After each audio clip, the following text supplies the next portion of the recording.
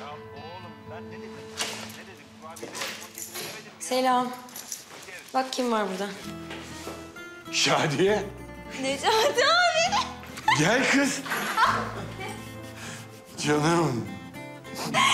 Ya ablam hiç bahsetmedi abi ya ne güzel sürpriz. Ay abim benim ya.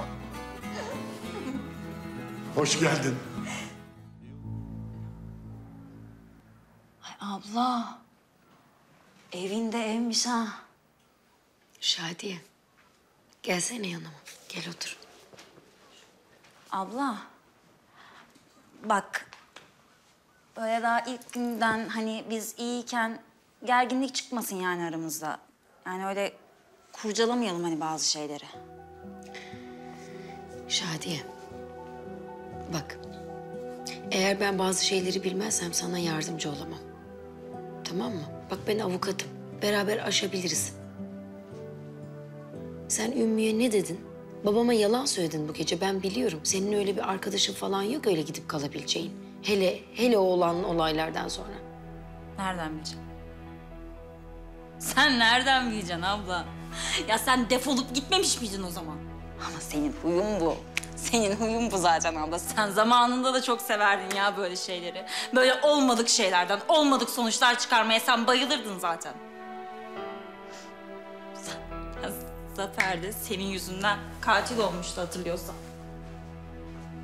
Şadiye, ben sadece sana yardım etmek için soruyorum. Yarın öbür gün başına bir şey geldiğinde seni savunabileyim diye.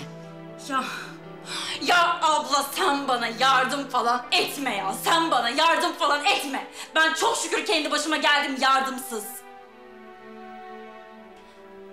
Ablam bak. Benim şimdi buraya gelmemdeki amaç yani böyle senle eskisi gibi abla kardeş olalım falan diye değil. Ben biliyorum çünkü yani. Olmaz. Sen bir kendine bak. Bir bana bak abla. Niye öyle söylüyorsun Şadiye? Kardeşimsin sen benim, canımsın.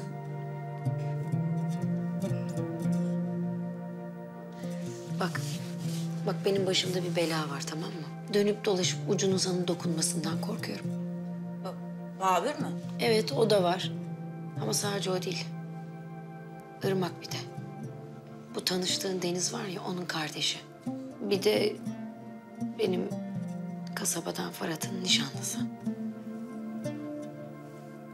Ya Fırat Kazan'ın senden olan ilişkisi böyleymiş demek ya. Ben de diyorum ki bu Babür'ün evinde konuşulanlar ne? Anlamaya çalışıyorum ya onu. Ne?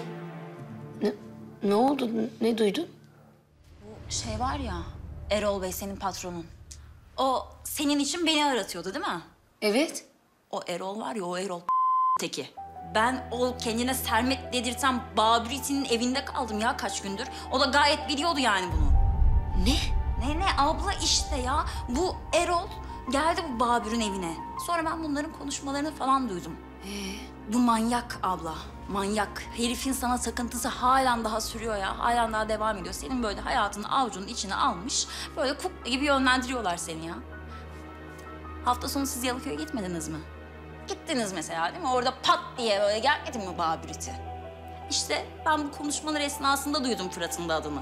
Ya ben de diyorum ki kendi kendime. Yani senin sevgilinle gittiğin tatilde bu adamın ne işi var diyorum. Baştan anlayamadım tabii. Ya abla tam kaçıyordum. Tam kaçıyordum. Dedim durayım ya. Durayım şu mevzuyu anlayayım yani. Bak gördün mü?